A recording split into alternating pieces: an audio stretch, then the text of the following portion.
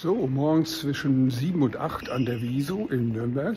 Bin auf dem Weg zu meiner Veranstaltung. Heute habe ich was Spannendes mitgebracht. Und zwar sind, wird jemand von der DATEV da sein. Wir sind schon eine Softwarebude, Consulting-Unternehmen. 1,3 ähm, Milliarden Umsatz, über 8000 Mitarbeiter. Und heute geht es um Agilität in der Ausbildung. Ich habe den Ausbildungsleiter da, der erzählt etwas über Agilität in der Ausbildung.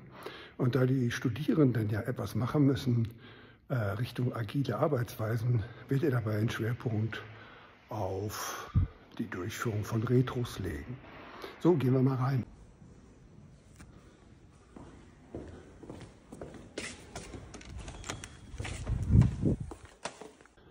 So, ich hatte schon erläutert, heute habe ich äh, den Rittermar hier. Er ist der Ausbildungsleiter äh, bei der DATEV. Herr Rittermar, Sie werden heute was erzählen über agile Ausbildung. Was versteht man denn darunter? Ja, da habe ich extra einen dreiviertelstündigen Vortrag vorbereitet, von daher kann man es nicht so schnell erzählen.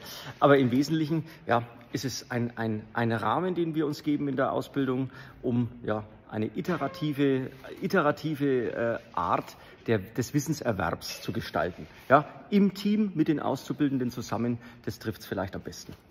Okay, und äh, meine Studierenden, die müssen jetzt im Rahmen äh, des Projekts Digital School Stories ähm, agil arbeiten, führen dort Retros durch. Was sind so, so die wichtigsten Dinge bei der Durchführung von Retros? Also ich glaube, dass die Retros das wichtigste Element in diesem agilen Framework sind, weil man darauf guckt, wie man arbeitet. Das heißt, man, man korrigiert seine Arbeitsweise oder besser die Arbeitsweise des Teams selber, indem man darüber reflektiert. Und das ist, glaube ich, ein Schlüsselelement. Da gibt es ganz viele Methoden für und da sollte man sich auch wirklich äh, Zeit nehmen. Das bringt einen weiter.